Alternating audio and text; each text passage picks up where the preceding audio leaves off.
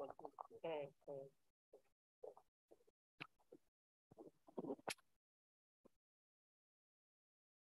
on, right?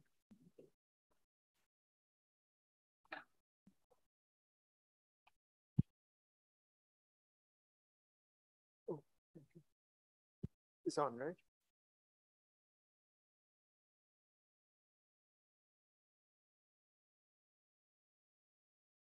Okay, so hello. Hello, hello. Okay. Okay, so um it's uh it's four o'clock, actually five minutes past four o'clock. And people are still joining in, uh, both via uh, Zoom as well as joining in in the auditorium here in lecture theater. So um, I would like to welcome all of you uh, for this edition of the NSF Wednesday Colloquium. And um, it's actually our honor and pleasure to have to welcome back one of our own, Professor Sunanda Banerjee, uh, who has come back again to TIFR and uh, is going to give a talk. He was part of us, uh, you know, not many years back. Um, and uh, it's actually our pleasure to host him again. Um, just for everybody's sake, the NSF Colloquium uh, has traditionally been, uh, you know, an event where all the members of the natural sciences faculty come together um, for one lecture in a week. And that allows for you know building connections between physicists chemists and biologists um, through the lecture or you know uh, just uh, the discussions after the lecture. So this this idea was actually a brainchild of uh, uh professor homi bhabha and our first director. So it has continued and as a tradition in our institute for all these years. Um, so I will like to actually call in Professor Gobindo Majumdar to um, introduce, formally introduce Professor Sunanda Banerjee. So welcome all of you. And Professor Banerjee does not need introduction, slightly older generation people, but I'll try to tell a little bit about, I'll take his little time. So this title is the 50 years of experimental energy physics. Actually, this is not this roughly. It is exactly 50 years back. In 1972, he started his career in Imperial College and his PhD was on this bubble chamber in the Rutherford lab searching for this baryon. And then subsequently, he spent lots of time in this different kind of bubble chamber experiment and so in between, in 1978, he came to TIFR with the bubble chamber experiment. And then in the after that, he went to the cello experiment in DESY for a year. Come back here and he's take the lead role of the L3 experiment in CERN, uh, L3 experiment. And in again, in 1994 or 95 onwards, he take this lead role in the CMS experiment. And I recall actually in the 2001, we went to KEK to propose our Belle participations. Uh, that's also, he was, he was there and I was with him. Okay, so this is his, this, uh, okay, in the short, okay, in the short word, that what is the different experiment he was involved. But I just try to take you these few points explicitly Okay, I do not know many of the things, but something I know. So let's, for example, he is the author and the developer of the GEANT3, GEANT4 software from the inception of the GEANT code. And still he is maintaining. And he is still the maintaining the CMS calibration course. And actually day before he was spending, I saw the two, two hours time with the student to how to run the code or he write the code himself what I saw him 30 years back when I joined as a student. And he has the same spirit till now. So that's the one part. Second thing is that we do not know. He is a known field in the, all over the world. So I know on this few example. Let's for example, 2003, a BES experiment in uh, Beijing uh, they found that their experimental results was not matching with this old SPEAR and other experimental results. And they were clueless what went wrong. And they called him to look for what is there inside the software or the detectors, what is the problem. So it's like L3 Belle or B, uh, big European bubble chamber. This is his collaboration he did, but these are the extra things also he was helping all the other people. And other thing I just say that this CMS detector, the scale calibration, uh, this is the his brainchild and he's continuing with that, that I told you. And just uh, two more things I just added. Uh, there's L3 experiment when starting from this concept of the software design. Complete software simulation and reconstruction was, he was one of the main person who ran through over this uh, L3 period. Similarly, for the CMS experiment, starting from the 94 and 95, he was the person who was, he developed and still now he was this overall in charge of this simulation, this detector geometry and simulation things. And also, let's say in CMS, when we started, uh, before the CMS start, so this which, which detect material is suitable for the calorimeter. That time CMS was not there, but in the LHC environment, which detector is supposed to be the best. And there is a crystal clear collaboration is at CERN. And he was in India. This is one of the person leading to the Indian group to choose this material and what is the size and shape of the detectors. So this is the multifaceted. I will he will tell it, only I'm saying that this is not the just this word 50 years, this is exactly his experience in 50 years of energy physics that he will tell us. Shunandada.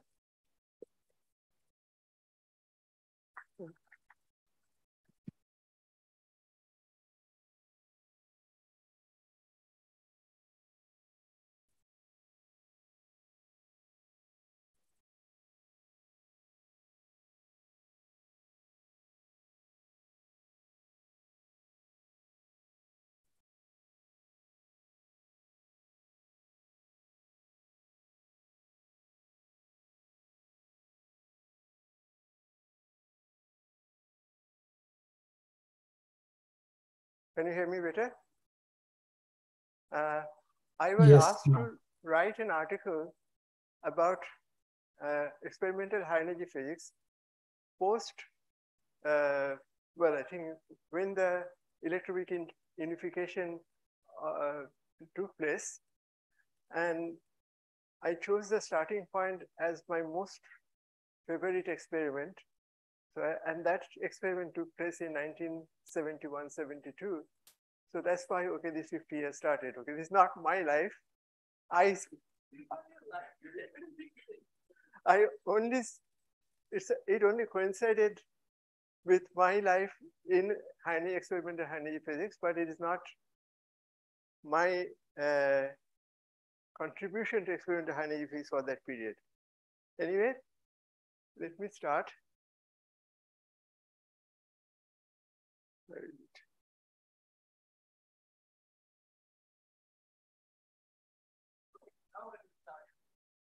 Well, I think uh, what energy physics does, it looks for the fundamental constituents of matter and their interactions. And it follows essentially the principle which is said by this gentleman. Okay, I mean, you obviously know him.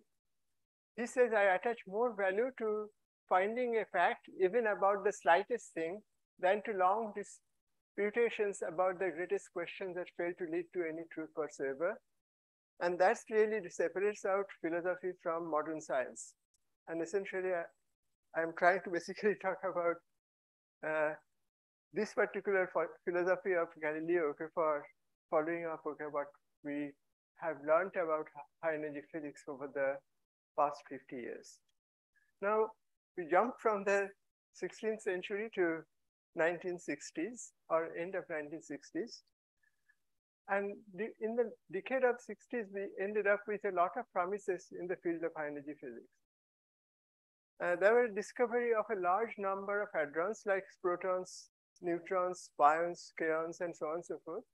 And that led to the idea that these charge, uh, strong interacting particles, which are called hadrons, are not fundamental particles, but they're made out of some fundamental constituents. And one of the gentlemen called Gell-Mann, okay, I mean, he said, okay, these constituents are called quarks. At the same time, okay, I mean, in the 60s, okay, there, there was an experiment which is uh, probing the protons with electrons.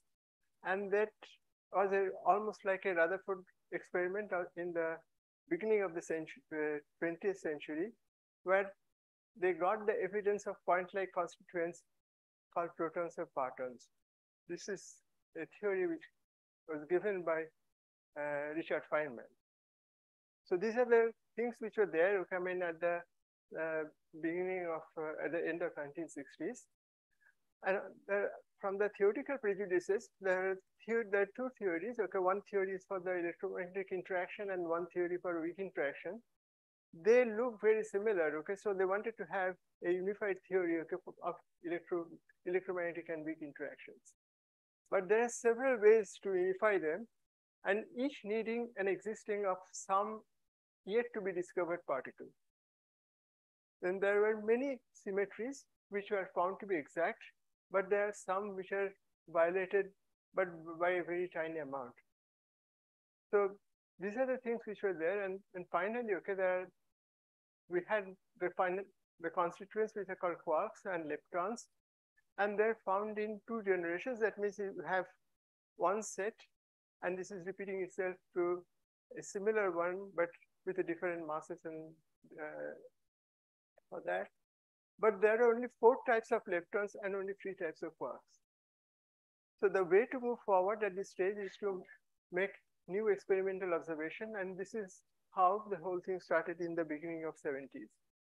Now to move forward, uh, we need the technology to advance.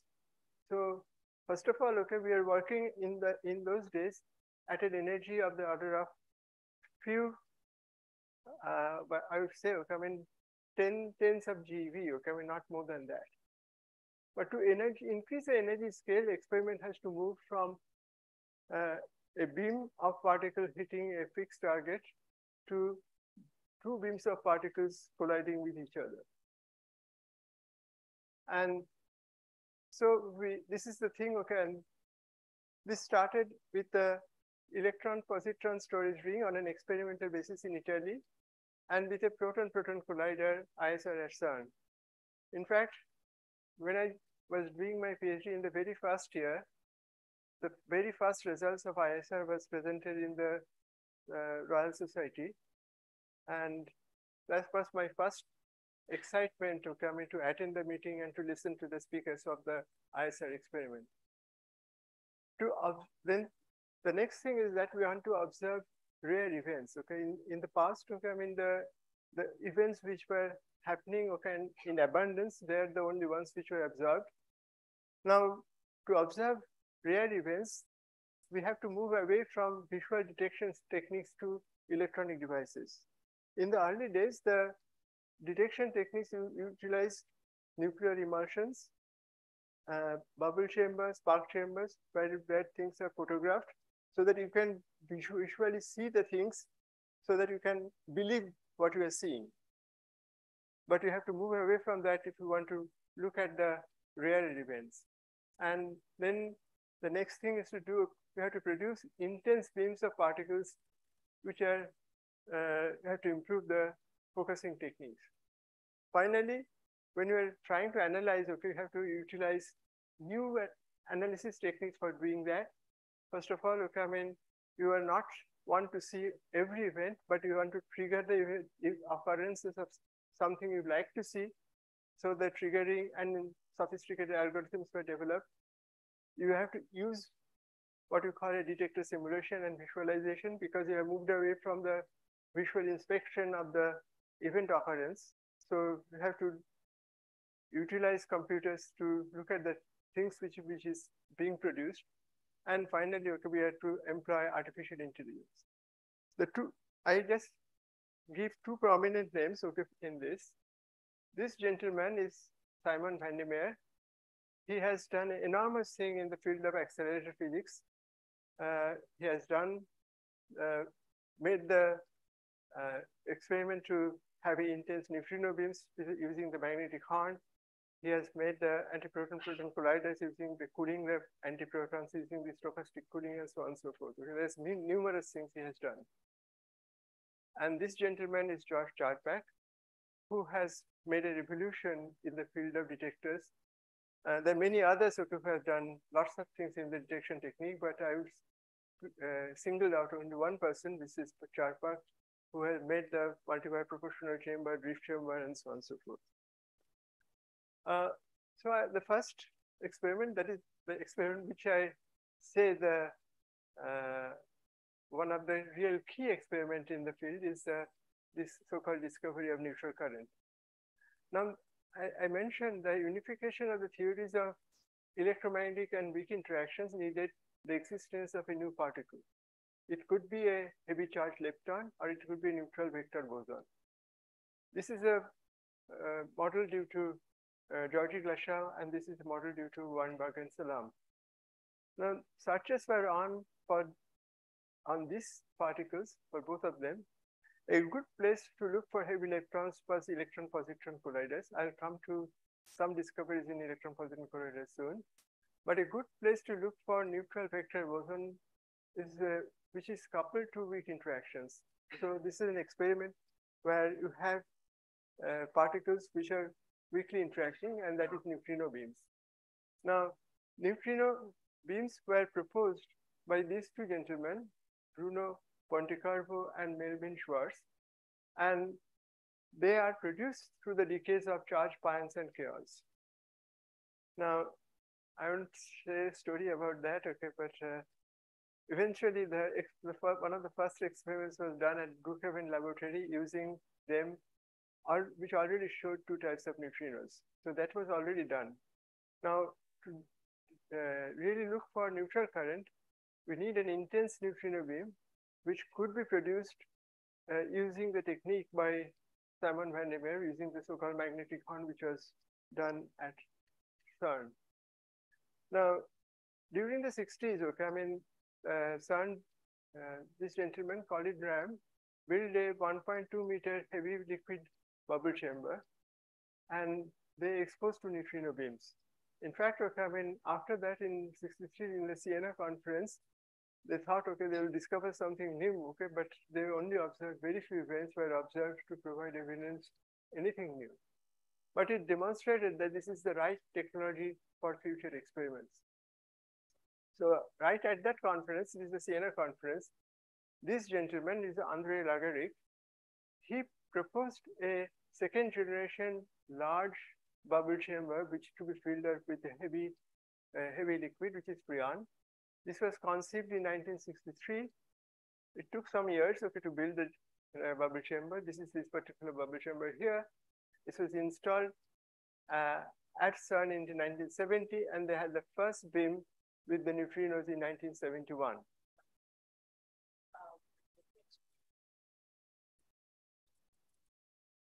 But, bubble chamber is essentially uses a superheated liquid, but they're confined in a way that there is, it is a heated liquid, but it does not boil.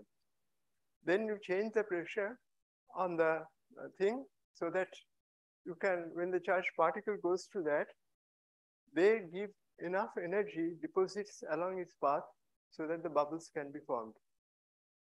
So what happens is that when you when the bubbles are formed above a certain radius, you take a photograph. So you so, know that the, the particle has hit has gone through that. And if it is interacted, obviously the topology of the uh, trajectory will change. It not only built the chamber, but he also made a European collaboration. And at that time, the, we had a so-called a large collaboration. And this large collaboration consisted of 40 to 50 people. This is not large up to today's standard, but it was very large in, in those days because I my thesis experiment was done with a collaboration of 10 people. Okay, so so the search was on for neutral current. That means the neutrino will interact with the matter in the bubble chamber and it will give rise to a neutrino in the final state. Normally the neutrinos uh, interact and give rise to a muon and that is a, through an exchange of a uh, some sort of a charge mediator. So neutral current will not give rise to anything. So the whole idea is that it will give rise to an interaction of this sort, neutrinos coming in from this direction, and you will have several things which are hadrons which will be produced. And you can see, okay, I mean, this particle comes in uh, and interacts here, or uh, you can see interacts here, or it decays here. So, so these are the things, okay, which are hadrons which are produced. So obviously, okay, this is a, a muonless event. Now, it is not just neutrinos will be coming. There will be also some background things will be coming, which are neutrons. So they have to distinguish, okay, this is a interaction with a neutrino or an interaction with a neutron. So one of the first things they did is they had some sort of a handmade Monte Carlo studies for doing that.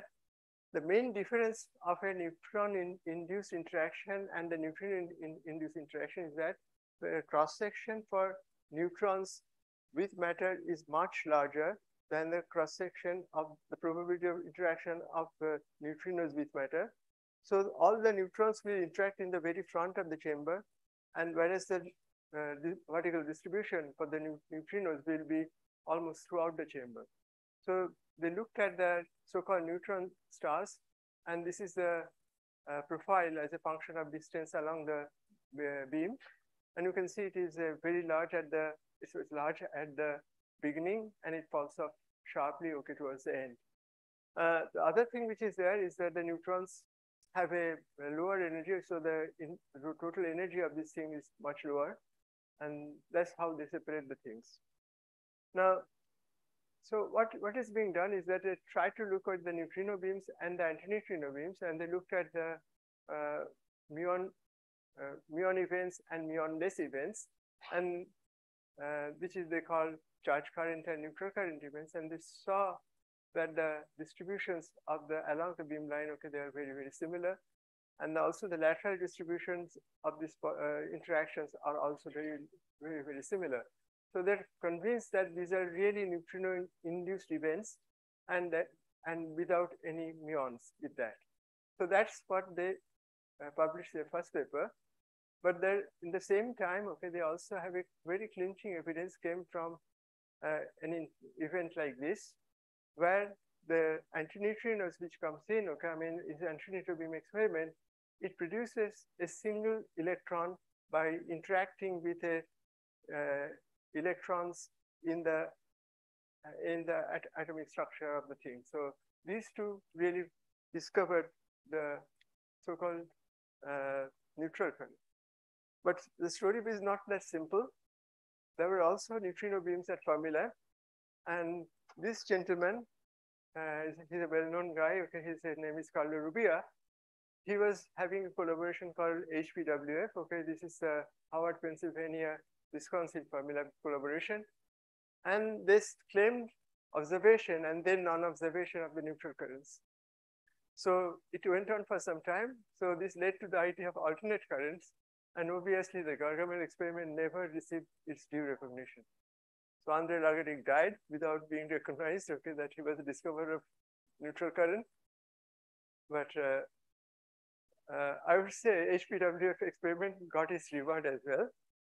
In the year 1974, in the Rochester Conference in London, I heard Carlo Rubbia showed evidence of this type of events, which are dimuon events.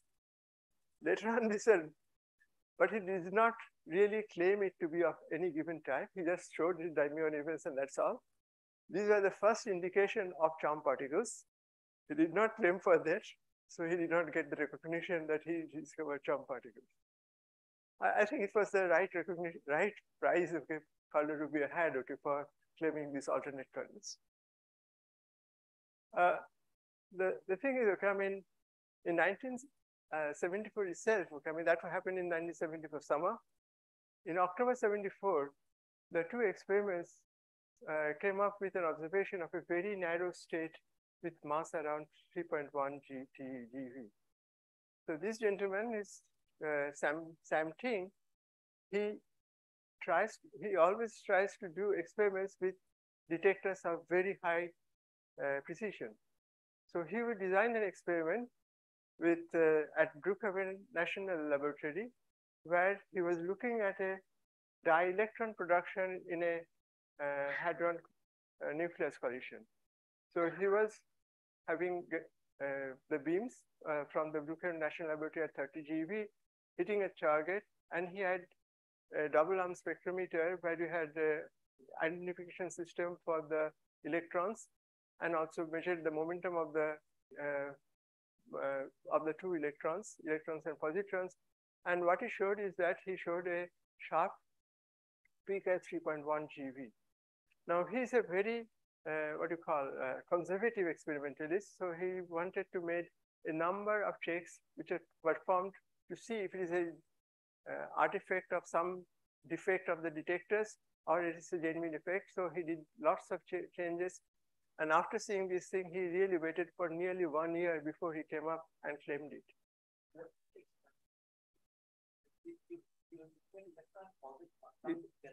Electrons and positron coming from a single interaction of a pro proton beam hitting a nucleus target.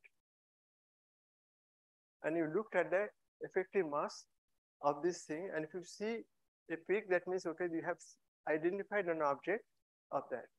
The importance of this is that this particular peak, I mean, this we have observed number of resonances in the past, but the main thing is that this particular resonance is very, very narrow. Hmm? Rubbia was looking at this. It was an, you showed the. It was a. It was essentially a neutrino experiment. Neutrino. Yeah. Neutrino beam on a fixed target. Neutrino beam on a fixed target. Uh, this was he was not the only one who saw this. Uh, saw this. There were experiments were done. Uh, by the way, Ting's experiment has a 10 to 12 people in the collaboration. It was not a large collaboration. It was very small collaboration from that point of view. This, this particular collaboration at SLAC was a much larger collaboration, about 40 people. And this was done in a plus E minus collider called SPEAR. And what they did is that they tried to measure the cross-section of electron-positron colli uh, collision as a function of energy. So when they did the first scan of this thing, they found some a broad bump around 3.22 GeV. So they came back and took a very fine, fine scan around the mass region where they had that broad bump, and they saw a very narrow structure. And you can see it is a uh, it is in E plus E minus going to E plus E minus, E plus E minus going to mu plus mu minus. Or this is a one. This one is to hadrons. This is in the mu plus mu minus, and this is to E plus E minus. So in all these final states, okay, when you, you see a very sharp rise in the cross section at the same mass value. Now, the explanation of this sharp, uh, small cross section, uh, small width, the narrow width of this thing was made by invoking uh, the suggestion of uh, these three gentlemen who tried to explain the narrow width of a one of the resonances which was seen in the 60s called the phi meson.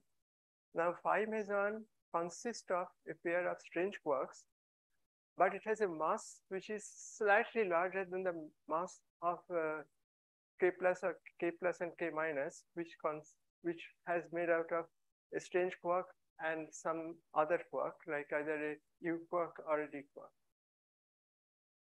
So since it is, it has got a mass which is slightly larger than that, okay, the you have got two things which comes in is one is called the matrix element, the other is called the phase space. The phase space for the decay is small. So obviously, okay, I mean, that's why, okay, it, it phi has got a narrow width, but not as narrow width as this object. So this particular state in this case, okay, should consist of a pair of a new type of quark and, and the a meson which consists of a chunk, this quark, and an up-down anti-quark should have a masses which is larger than half the mass of this newly observed state. And that can really explain the narrow width. So obviously, okay, this is the bound state of a charm quark and charm anti-quark. So yes, no. This resonance on the top, of the previous, yeah, this resonance is a rather asymmetric shape. Does it have any significance? Why? Uh, whenever we have uh, anything, okay, the, the thing is, okay, I mean, uh, the production cross section, I, will show you the other thing. Huh? Yeah. No, no, it's the last one is E plus E minus. This is the hadrons. The largest cross section is hadrons. This is mu muons, and this is E plus E minus. So, so I think that there is al always a radiation, okay, which which uh, tries to broaden it at the higher end. That's that makes it uh, asymmetric. I, will show other places also for, for that. I mean, uh, where you have the uh, asymmetric uh, cross section. Now, soon after the discovery of J/psi particle, obviously people will have to look at a worldwide hunt for open charm hadrons. Uh, I mean, uh, at Imperial College, we also started looking for that in the antiproton-proton proton collision, but we are not as lucky as the guys in the SPEAR. They collided uh, the same experiment. Okay, they tried to look at the effective masses of a kaon and a pion, and they saw a peak around uh, 1.85 uh, GeV, which was the evidence of, of uh, the first charm hadrons. But then there is a large set of programs with very precise tracking detector, which utilizes silicons and also high, high resolution bubble chamber, both at CERN and Fermilab, we studied the properties of charm hadrons during the 80s. The next thing which came up during the 70s is the discovery of a fifth type of lepton, I mean, uh, a third type of charged lepton. Now, in the word, okay, I'll, I'll try to say as loud as possible, okay? I, I know I, I'm a little bit limited, okay, by the volume of my voice. Now, in the, these are the words of uh, the discoverer of the tau lepton. He says, okay, the, there are three things which really led to the discovery, the connection between the electrons and the muon, that the development of electron-positron storage ring, and finally the development of the theory of sequential leptons all these three ideas, okay, I mean, really led to the discovery of the new lepton.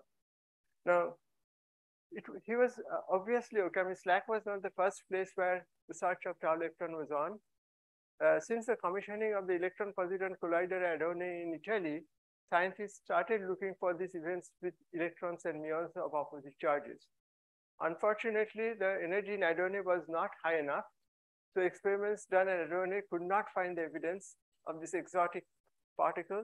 And in a series of papers, they gave a lower limits of the mass of any new sequential lepton. So the searches does not always lead to discoveries. It sometimes gives a, a, a limit. And they gave a limit between 800 MeV to 1.1 GeV. But that did not stop Martin Perl to look for uh, a new lepton in SPEAR. Now in SPEAR, I mean the energy collider reached 3.8 GeV and he kept on looking for that. This is Martin Perl.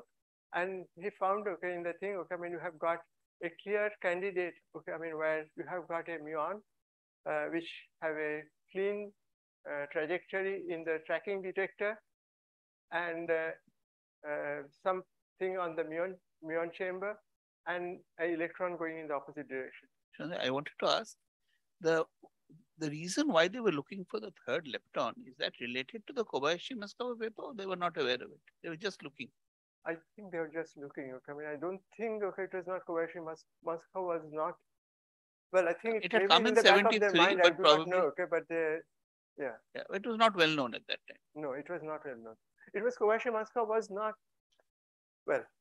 Uh, Cabibbo's theory was established. But Kobayashi Masukawa was not established at that time. No, but Cabibbo is two by two. So you could have yeah, stopped, two, stopped yeah. with muon, electron and muon. Yeah, the quark yeah. mixing was established. But, yes. but again, with charm, that was closed in two generations. The reason to look for a third generation does come from Kobayashi Masukawa, but yeah, but it was Kobayashi not known at that was not at all established. In fact, okay, I mean, uh, it, I do not think even Kobayashi Masukawa was known to this this gentleman. Okay, I think the first experiment in the Adone was the uh, brainchild of Antonino Zichichi. Okay. So Antonino Zichichi did lot more things other than, okay, I mean. Uh, well, well, he paid my salary. or mine. Okay. So, so these observations were followed by observations done in the electron hadron and the muon hadron events in uh, not just in SPEAR, but also in DORIS in, in Hamburg. And the energy dependence of the cross section uh, for this type of events gave a measurement of the lepton mass and this lepton mass, I mean, this is the cross section uh, as a function of energy. And from that, okay, they derived, okay, the mass of the object. And this is a standard technique which was later on used, okay, in getting the mass of, for example, for W bosons in E, e plus E minus collision. Uh, during the late 80s, okay, I mean, I, I talked about, okay, I mean, uh, the, the, late 60s, okay, I mean, I talked about that uh, the deep inelastic scattering of electrons on protons demonstrated that the cross section depends only on some dimensionless quantity and not on the energy scale. Okay, this was called Bjorken scaling, and this really led to the idea of partons as the point-like constituents of protons and all hadrons.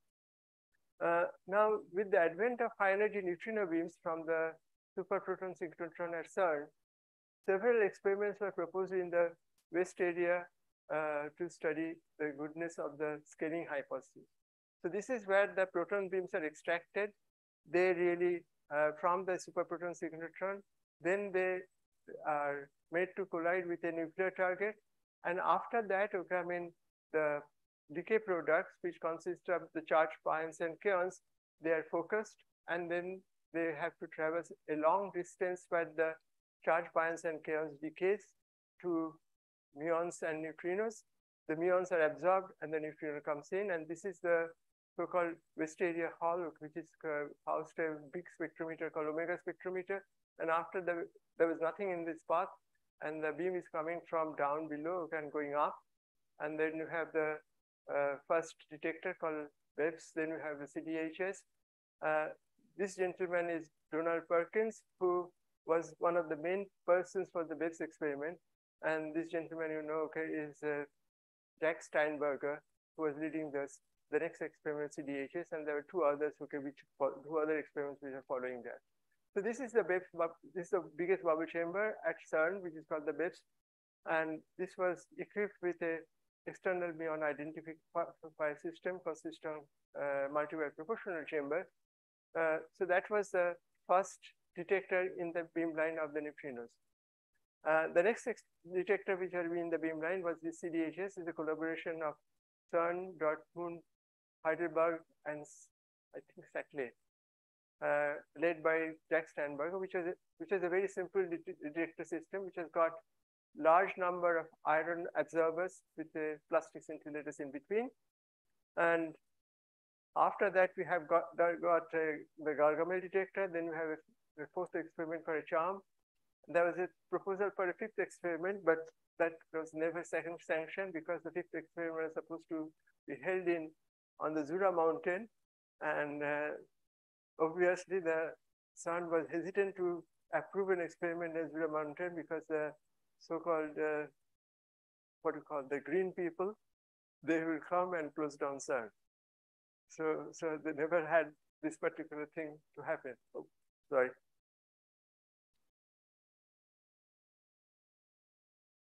So what happened is that, okay, they observed a violation of the uh, clear violation of the, what they call the, the structure functions over a large energy range of the energy transfer. And not only that, this violation they demonstrated has a logarithmic dependence. So this was the first quantitative evidence of this theory of strong interaction QCD. And that came essentially first from the, the BEBC experiment followed by the CDHS experiment. Uh, so, so, so this is still, I'm still in the 70s.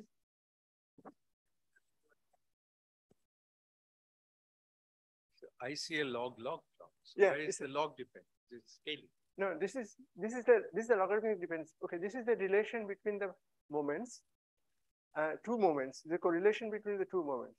And this log log plot, if it is if it's a log linear plot or if it's a log log plot, only shows that the dependence is Is is, the not log. logarithmic. Okay. Got that. Okay. Uh, now, we knew by the end of, uh, well, I think in the early 70s that uh, uh, the discovery of J/psi uh, demonstrated that search for a new quark flavor is best done in a high resolution spectrometer looking for a dielectron final state. Uh, he's one of the most brilliant scientists of uh, in this field. Okay, he's Leon Lederman. he designed one such experiment at uh, at Fermilab looking for multiple muons, but he did not have high enough resolutions at around 3 GeV, so he missed out the discovery. But he kept on looking for that uh, at a higher mass. And lucky for him, when he was uh, using a 400 GeV proton beam, which is hitting a target of copper or platinum, uh, platinum target, uh, he found out, okay, with the mass resolutions uh, uh, I think momentum resolution with a precision of 15% and possibility of studied dimuon spectrum above 5 GeV, he saw an enhancement of uh, thing. Okay, so it is a sharply falling mass distribution. And over the sharply falling mass distribution, if he subtracts the continuum, he sees a peak. Okay, I mean, it, he initially said it could be a single peak, or it could be multi, uh, two peaks uh, for doing that. So that's how mean, he said, mean, this is a, uh, a new narrow resonance for doing that. And this was followed by experiments at E plus minus colliders in, uh, in DESY, uh, as well as uh, in what you call Cornell's laboratory. And they found out there are three narrow and one broad resonance in that. Uh, so, so you can see the lowest mass state is at a mass of 9.46 GeV, and it has a width of 1.3 keV. So six orders of magnitude between the mass and the width. So obviously, okay, this narrow width means, okay, you have a, a fifth quark flavor, which is a, called a beauty or a bottom. And the, the thing is, okay, I mean, the half of the mass of Upsilon uh, uh, is the what you call a threshold for an open beauty production, which was discovered subsequently by the CLEO collaboration at Cornell. Uh, now comes the question of the vector bosons. Okay, now we have finished 70s and moving up to moving up in the 80s. So during this 70s, okay, I mean, the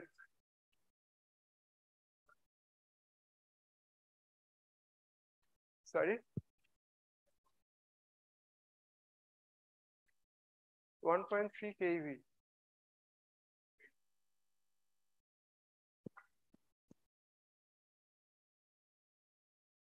This is the, the first Upsilon one. KV, I think. I, I wrote KV. Uh, now, when you have an energy of 450 GeV or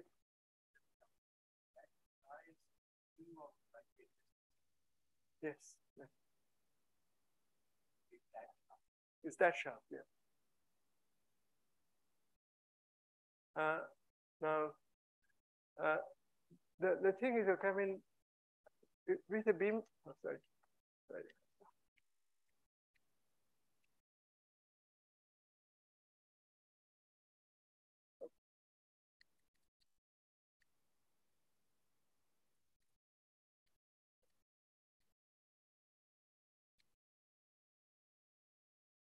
Now, with a, uh, some sort of a, uh, theoretical prejudice said that the, the vector boson is expect, expected at a, at a mass around 100 GeV. And if you have a beam energy of 450 to or 800 GeV in the energy doubler at Tevatron, uh, you cannot really produce that by hitting this beam on a uh, fixed target. But uh, three gentlemen, Carlo Rubbia, David Cline and Peter McIntyre proposed to use either SPS or Fermilab rings to have a beam of antiprotons accelerated and colliding with the protons. I mean, they they could be accelerated by the same. Uh, I mean, they can be made to rotate by the same magnet system, but moving in the opposite direction and accelerated in, in by the same acceleration system. And uh, somehow Fermilab never believed that, mainly because uh, they thought, how can you produce antiproton beams? If, when you, the way you produce antiprotons is that you hit protons on a nuclear target, and then antiprotons which are produced are hot. That means they have come out in all directions and have many energies. So you have to cool it down. Uh, now the Russians and Van Meer, okay, the Russians have a uh, cooling method which is called electron cooling, and Van der Meer had a cooling method called stochastic cooling, and both these cooling methods were tried out at CERN, and uh, uh, they showed okay both the cooling method works, and but the stochastic cooling method is the one which is the most suitable one for this, and so they could make an antiproton accumulator where they cooled down the anti and made the antiproton beam, and then the antiprotons are led to the proton synchrotron of CERN and then to the superproton synchrotron. So we could have a collision of uh, two 300 G, for example, two 300 GeV protons and antiprotons against each other, having a center of mass energy of about 600 GeV. And obviously, okay, you can produce 100 GeV object using that. So there are two experiments which are using complementary technologies which are uh, proposed. Uh, one by led by Carlo Rubbia called UA1, which uses a magnetic spectrometer with a very hermetic uh, calorimeter. And the other was uh, a group of not so famous famous physicists, but they are very, very sharp physicists.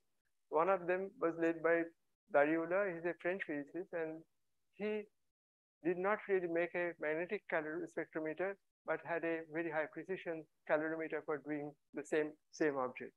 And they found out, okay, I mean, uh, first uh, events of a high transverse momentum electrons with a large uh, missing transverse energy, and they are correlated with each other as though uh, an object is produced at rest of mass around 80 GeV, and they uh, emit a uh, uh, what you call electrons and neutrinos in opposite direction, and uh, with the same energy to balance each other. That is an evidence of the W boson. And also they observed uh, two electrons or electrons and positrons of equal transverse energy, again balancing each other, and the effective mass of that is around 92 GeV. So this was the discoveries of W's and Z boson. Sorry, this um, I wanted to just ask this, but uh, the UA1 and UA2, the uh, most of the credit goes to Carlo Rubbia and you know the Nobel Prize. So somehow UA2. No, no, no, no. It was they, not. didn't get if you that. really look at what the credit goes to, the credit for Carlo Rubbia was the proposal of an antiproton ring. Okay, it's not for the UA1 experiment. UA1 only had the seen the events, but the that you can have a uh, antiproton proton collision. That is the reason okay for the Nobel Prize. Hmm? That is And and the other thing was stochastic cooling, which went to Simon van der Meer. Uh, now in 75, okay, I mean, uh, not in the before the discovery of uh, W's and Z's, the CERN pr proposed to have a large rings of electrons and positrons to discover W's and Z's. And this is called the Large Electron Positron Collider. But fortunately or unfortunately, the W's and G's were already discovered by uh, Carlo Rubbia. So, uh, but still the experiment, uh, still the, the things are on or coming to do this thing. And what uh, CERN allowed to do that, they approved four different experiments to go in for this large electron positron collider. The, the reason for the four different experiment was that, okay, I mean, two of the experiments, uh, this one is, sorry,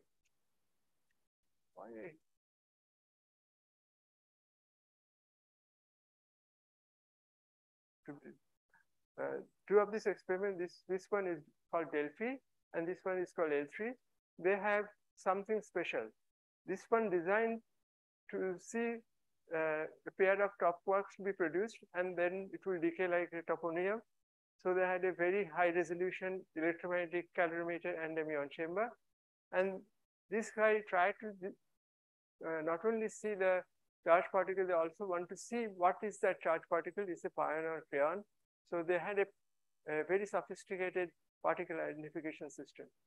But in addition to that, there's this guy okay, had a very large uh, superconducting solenoid, uh, that detector in Aleph. But one, after these three, okay, I mean, they all had many challenging technologies. So when you have a challenging technology, okay, it might work, it might not work. So they have something which is a conventional technology, and they had a fourth experiment called OPAL. So this, that's why, okay, they had four experiments, which is rare.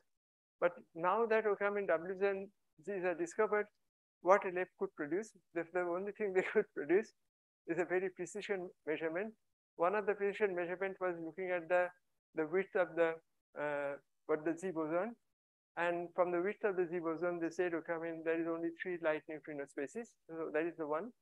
The second thing they did is they, they did measure a large number of uh, quantities which are can be explained by electroweak theories. And you can see that all agrees, okay, with the what, what they call the standard model prediction within a one sigma. The largest one is 2.65 sigma away, but there's only one of them. But the at the same time, okay, I mean, all these measurements say that there is a uh, uh, radiative correction, which is essentially a correction based on a higher order diagrams, okay, for that. And that radiative corrections are determined with a significance of 5 sigma. And uh, obviously, okay, that led to the one Nobel Prize, okay, to uh, two theorists, 't Hooft and Veltman.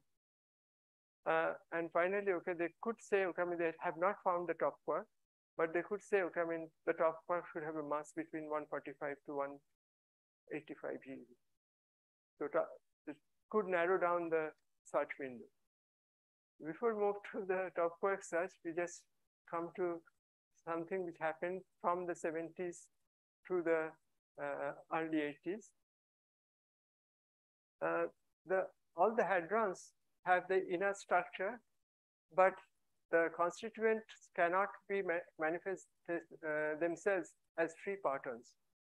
So Feynman and Field, I mean, they gave the idea of jet formation and the SPEAR experiment, they really found out, okay, that uh, in the SPEAR experiment, they when they have a multihadronic final state, that can be explained not by a pure phase space uh, type of model, but the formation of uh, pair of jets.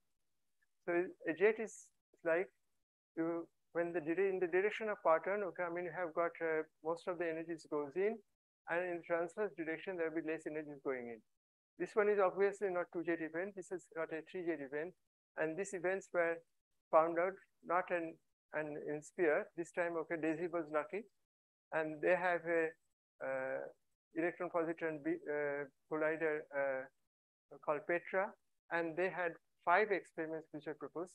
In fact, after out of these five, the first one was a, an experiment which was already there in the Doris ring, and that was moved out. That was one of the best detectors of Doris ring, and so it was moved out okay, till cello, cello experiment could be built.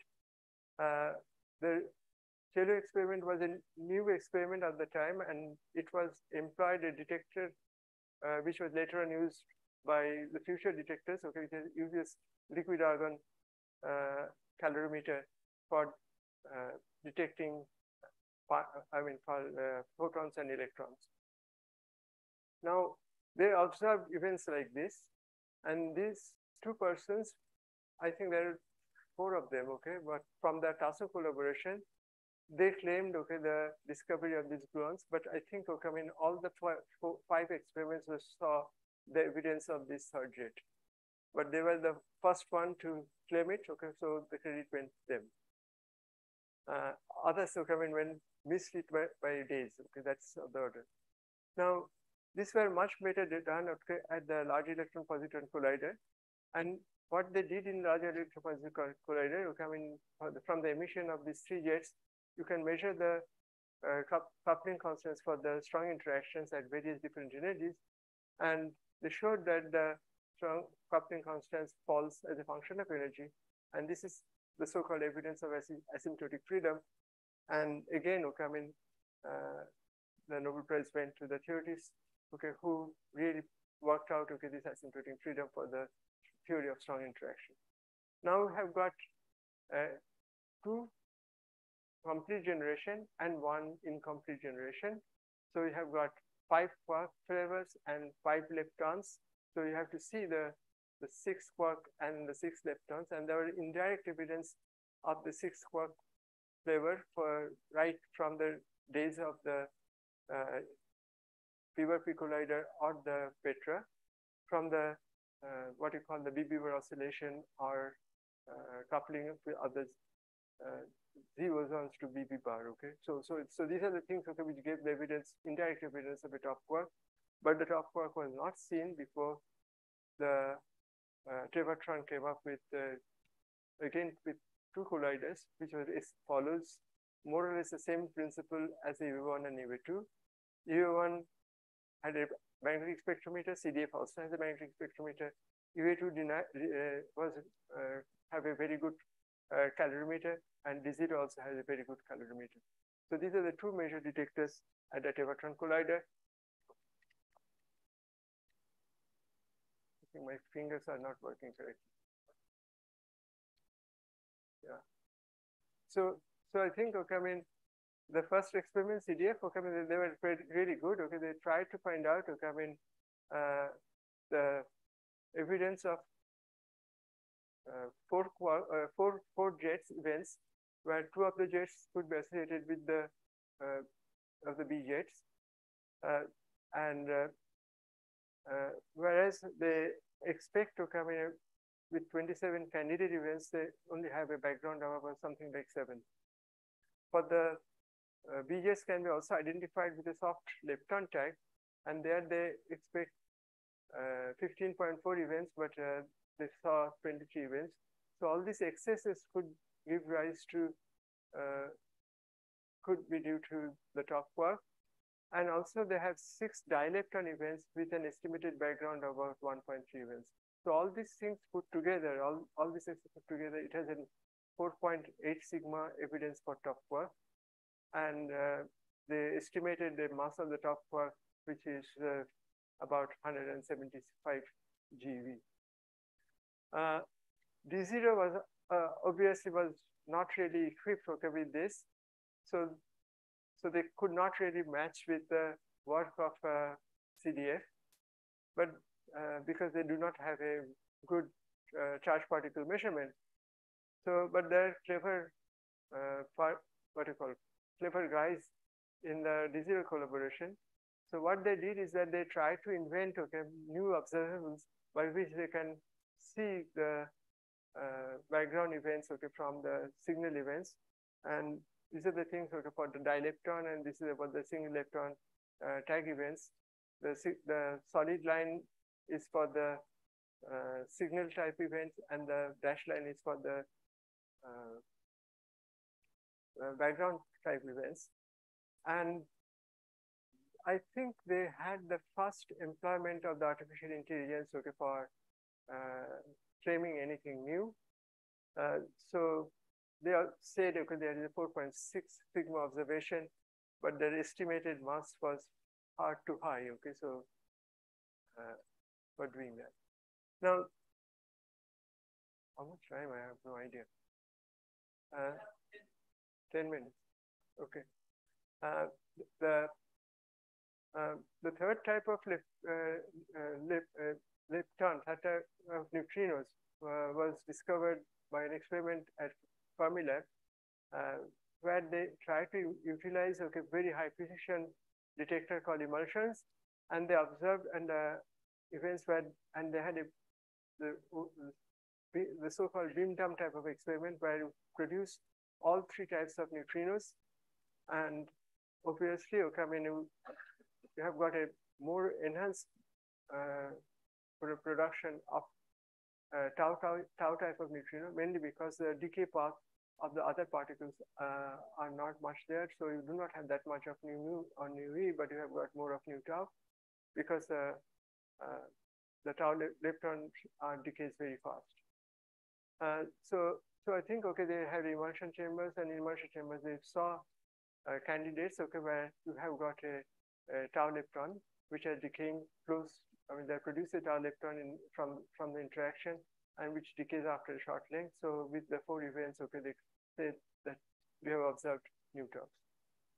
Uh, I think uh, one of the most challenging experiments was an experiment done by uh, a guy okay, called uh, Davis, Raymond Davis.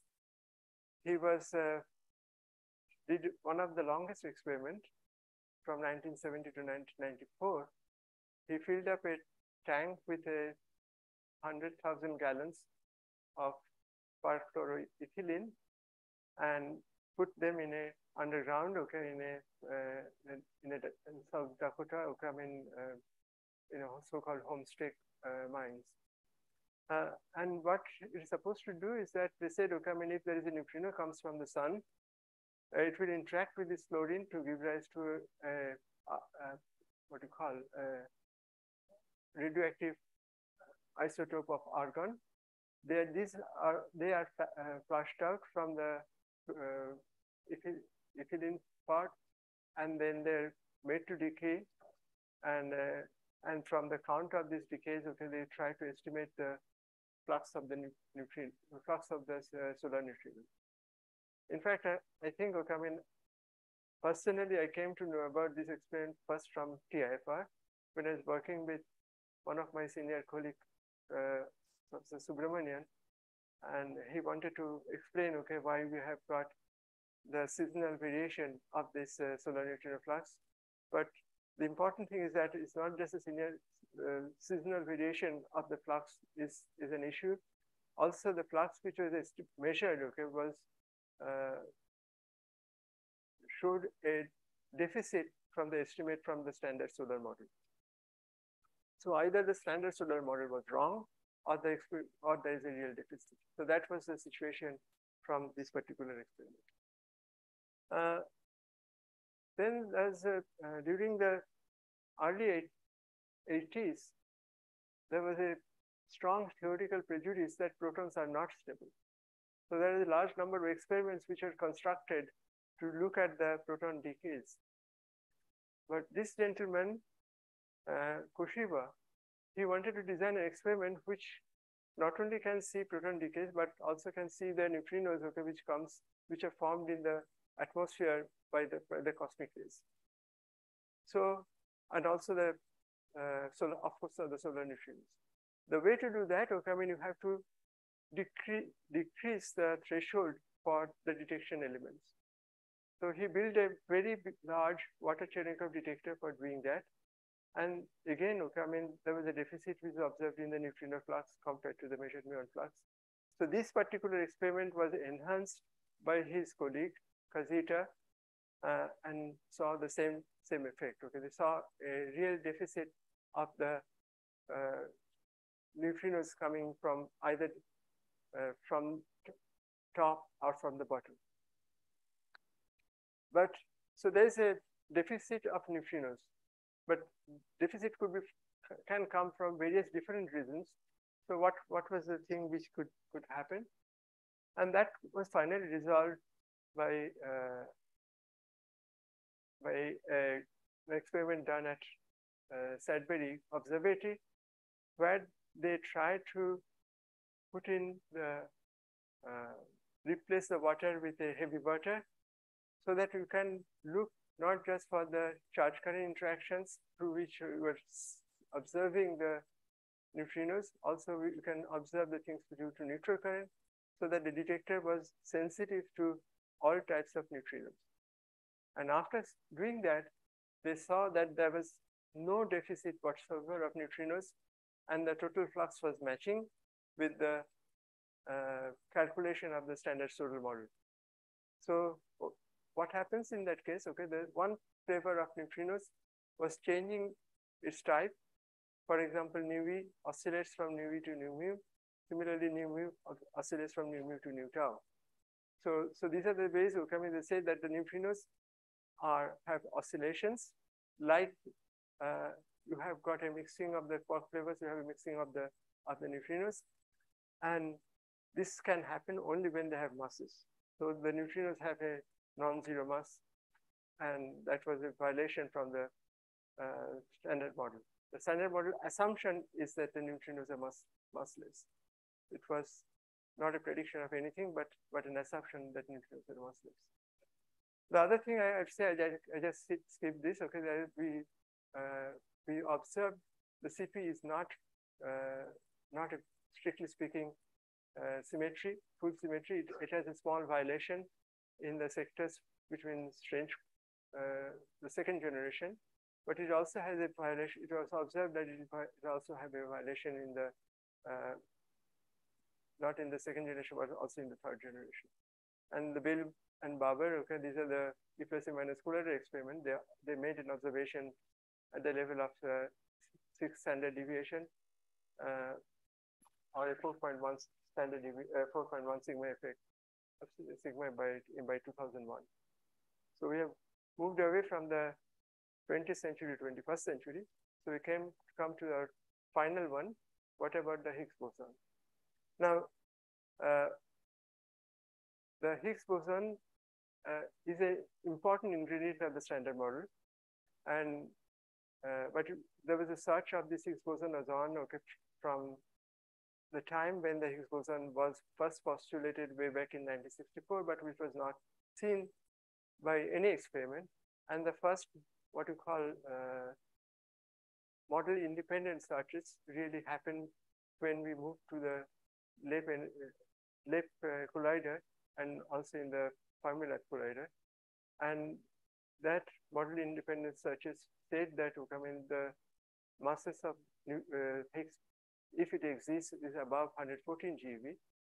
And uh, also ruled out, okay, the masses between 156 to 177 GeV. Based on this, uh, also the electric measurements, okay, the radiative correction model is correct. They said, okay, Higgs should be lighter than about 171 GeV.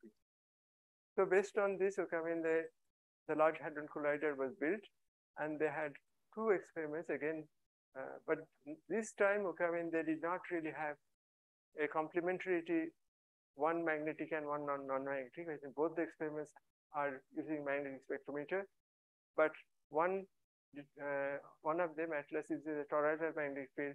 The other one has uses a solenoid magnetic field. That was the only difference between the two. Otherwise, okay, I mean, if you look at the thing, okay, they have more or less the same type, having a tracking device, having calorimeters, having a muon detect detection system. So what happened is that, okay, I mean, this, uh, okay, what the Higgs boson can decay to, Higgs boson can decay to a pair of, uh, any pair of uh, uh objects, uh, either quarks or leptons, uh, which, which has got mass. Now, if you want to do that, okay, for a pair of quarks, obviously it will be uh, decaying mainly to a pair of B quarks, but uh, which will manifest themselves into B jets, but was it should be formed by background process. So they have to go through the Rayard decay process of the uh, the Higgs boson. One possibility was it decays to photons, pair of photons. Higgs does not couple to photon. Higgs couples to photons uh, uh, through a loop diagram through exchange of, for example, through a pair of Ws and or a pair of tops. Uh, now, so so I think okay, I mean, uh, you, so that is one particular way.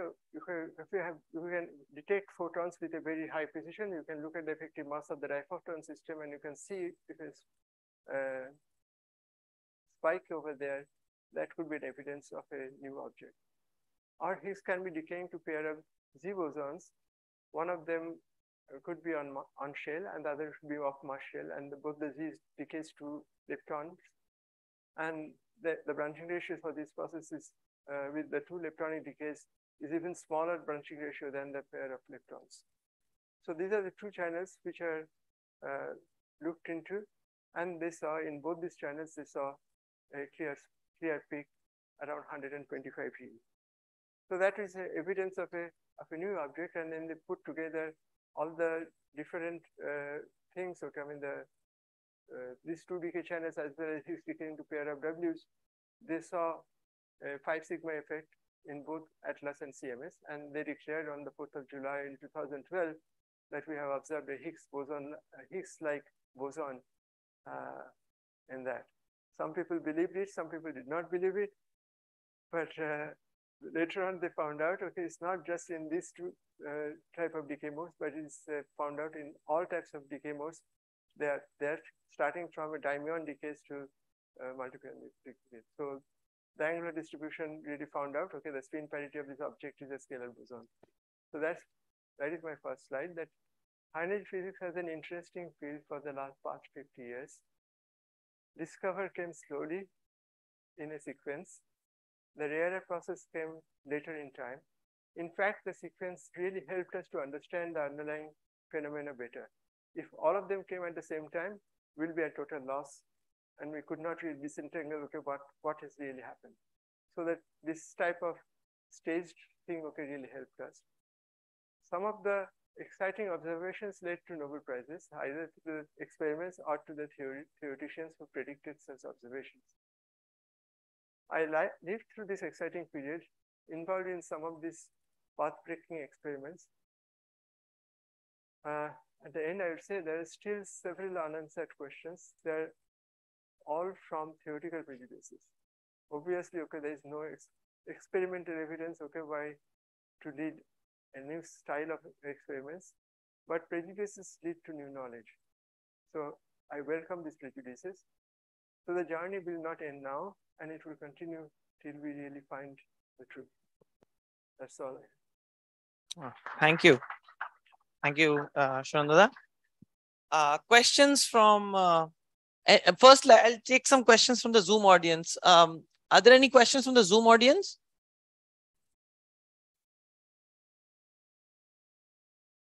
Uh, okay, huh, TP. Yes, TP. Uh, hello, Sunanda. Uh, thanks for a very nice talk. Can you hear me, I hope? Yes. Yes. So my question is, uh, in the last three decades or so, we have not found any evidence for a fourth generation fermion. On the contrary, we could show that there are no more than three neutrino species. Is there some decisive experiment one might be able to do which will establish that there are no more than three generations?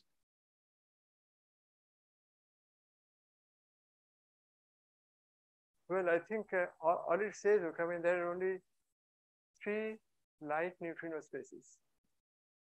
So having a, a neutrino which is not coupled to Z bosons, obviously could be there. We do not say anything about that. Now, I'm talking about uh, say charged leptons and quarks. Um, maybe there are only three generations. We have, um, yeah, we have, uh, yeah, all the searches for a fourth generation have yielded so far null results. Uh, in the context of the, what do you call, the uh, LHC experiments. But still people are have not stopped looking for a fourth generation. Thank you.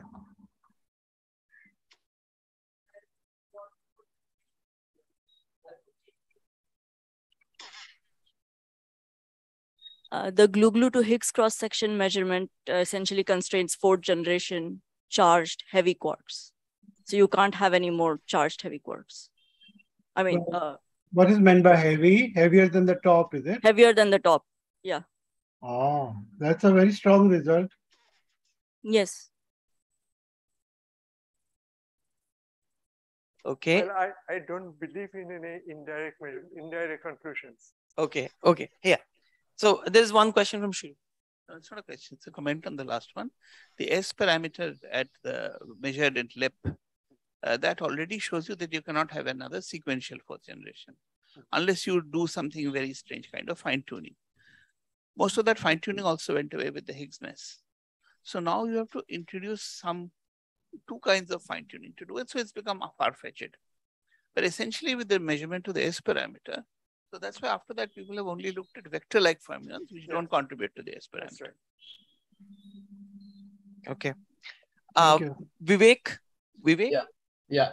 uh, I have a comment and a question. Let me just give the comment first. You mentioned, uh, you know, Pontecorvo uh, in some other in the context of neutrino oscillations.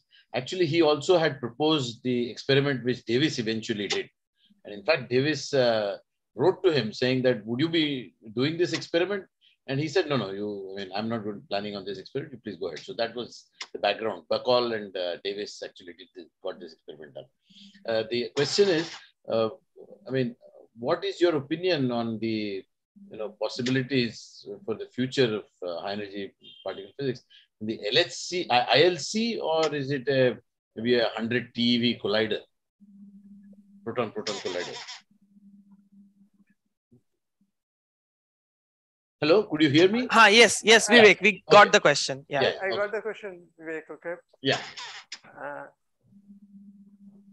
well, the, the, the, whole point is uh, these days the energy physics is so expensive. Uh, it, it is a difficult choice. Okay, so so I think okay, the one of the things they try to do is some again okay motivated by some theoretical prejudices, and one of the theoretical prejudices is to have a much sharper measure precision uh, precision measurements uh, at the scales of vector bosons, at the scales of the Higgs bosons, and at the scales of the uh, top quark. Now, this can be done, okay, with the electron-positron colliders. Now, uh, on the other hand, okay, I mean, these are all indirect measurements, and the, then to really move forward, a direct measurements is required, and the direct measurements are uh, highest energy proton-proton collider. collider. Now, what you try to balance between the two is something is uh, uh, really is a fight between the uh, two types of people. Most likely, the people with the precision measurements will win, and uh, but I think okay, I mean, that's the direction where both CERN and China is moving. Okay. Okay. Thank, Thank you. you. Sudeshna? Professor Sudeshna Banerjee? Yeah. So. Yeah. Why can't I see you? Yeah. you don't need to see me. okay. Yeah. So uh, the thing is, um, uh, thanks for a nice uh, historical uh, talk. Uh, many of the information, you know, uh, I really like to revise through your talk, I got a lot of information. I just have one comment on your uh, D0 uh, top result. So the result you showed was very preliminary. Later on, after a few years, D0 added a magnet to the detector and the top mass measurement was equally precise, I mean, same as uh, CDF. Uh, so there they did very good and uh, D0 actually was one of the first uh, experiments to um, apply multivariate analysis techniques uh, to find the top uh, quark mass, uh, you know, through the data they got. So that was a, a good achievement for D0. So though in the beginning they did not have as, as much precision as CDF, but later on they managed. Thanks. Yeah, I, I, I only refer to the discovery paper. I did not go, go beyond the discovery paper. So that was the reason okay, I did not talk about uh, when they uh, understood their mistake, okay, and then put in the magnets and so on and so forth. But I also always gave credit to the artificial intelligence which is employed by D0 for the first time. Yeah, yeah. Thanks. On the comment made by Professor Sunanda, it is uh, regarding the future colliders which are going to come up linear collider uh, will come up much earlier, electron positron, because the technology is halfway through. Still, a lot more uh, research needs to be done. And 100 TeV future collider will take several decades. No, that's that was precisely okay. I did not say okay, it will be linear or circular collider. I only said the E plus E minus against the proton proton.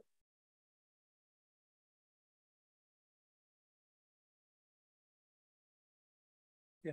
So you mentioned these uh, different magnetic uh, uh field configurations for Atlas and CMS. So what's the advantage of a toroidal uh, configuration? So what can Atlas do with it? With, uh, the, so. the main thing is, okay, how the momentum measurement uncertainty is a function of the, the error on the momentum measurement is a function of the momentum. In a, uh, if you have a solenoidal, solenoidal magnet, uh, you have a very high precision at the lowest, at the low momentum, but when the momentum is larger, the delta, the sigma p over p becomes large. In a toroidal magnet, you do not get such a good momentum measurement at the low momentum, but at high momentum, you are, it's the other way around. You are, you do much better okay, at high momentum compared to a solenoidal magnet.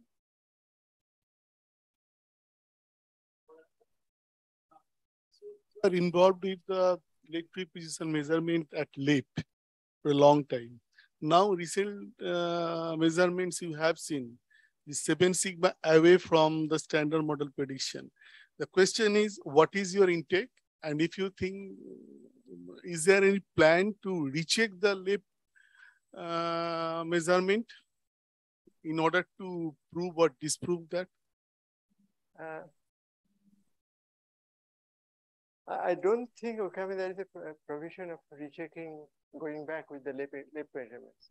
That is almost out. Okay, we uh, don't have any access to, to the data. We the data storage system was not as good as it as it is today. Uh, I, I, think, uh, but uh, we have to rely on the things okay, which Atlas or uh, CMS do okay for doing that. Uh, I never believe any measurement done by a single experiment uh, unless it is corroborated with uh, some other thing. I was involved in one experiment where we found a 5 sigma effect okay, of finding some an object at uh, 2.6 GeV. We published that and it was turned out to be a statistical fluctuation by repeating similar measurement done by other experiments. So with that background of things in my in my thing, okay, I mean, I never would believe anything which was done by a single experiment. Uh, it could be unless other experiments prove it. And if you really see for many things, okay, I mean, you can have seen observation, no observation, observation, no observation, and then it tries to reach to some type of thing okay, where it go, goes heavily in one direction. That is where okay, I mean, one has to believe it. Okay. Last, last question. Last question about your last part one point. This is that they are all theoretical prejudices, but this is a dark matter. I think this is the observations we see. This is experimental observation. Mm, well, I think okay, I mean, but it does not say, okay, where the dark matter would be, okay, should it be Something is there. But Govinda, it could be modified gravity, not dark matter. Not dark. Okay. okay. Okay. We will, uh, on that note, we will conclude this colloquium. And let's thank uh, uh Professor Sunanda Banerjee again for a, a very nice summary of uh, all the last 50 years of experiments in high energy physics. So thank you. Thank you very much. And I request all of you to join in the West Canteen for a little bit of snacks and uh, tea. Um, I would also like to remind uh, that next week we'll have uh, one of our own young members, Professor Malay Patra from Chemical Sciences, giving a colloquium. So thank you.